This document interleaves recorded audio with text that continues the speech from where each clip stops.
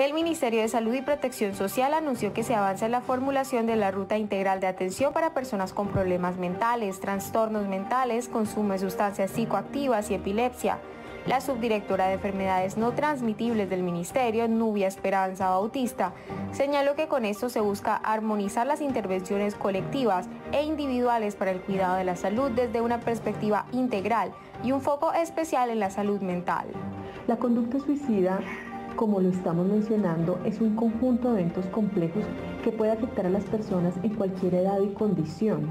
Cuando se manifiesta como muerte por suicidio, tiene consecuencias devastadoras para el individuo, la familia y la comunidad y sus efectos son duraderos.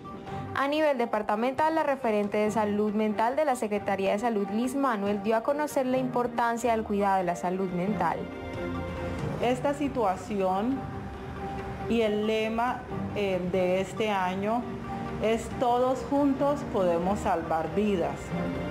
Es muy importante en este momento, tanto a nivel mundial como de país y departamento, por la situación y la emergencia sanitaria a raíz de la pandemia causada por el coronavirus COVID-19, que, que tengamos en cuenta este día tiene un peso muy importante.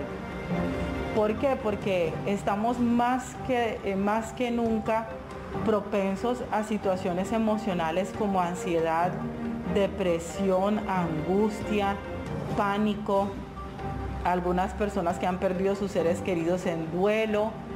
Entonces, en este día lo que nosotros queremos hacer es que sepamos que esto no depende de los psiquiatras, de los médicos, de los psicólogos, de las instituciones. Esto depende de todos. Dentro de las actividades propuestas por la cartera de salud a nivel de las islas se encuentran visitas a medios, conferencias con los líderes religiosos del departamento sobre el tema de duelo y suicidio, además de sesiones de webinar en el que participarán jóvenes psiquiatras y psicólogos. Se recuerda a la comunidad que la Secretaría de Salud tiene atención para crisis psicológica a todos los habitantes de la isla a través de la línea del CRU.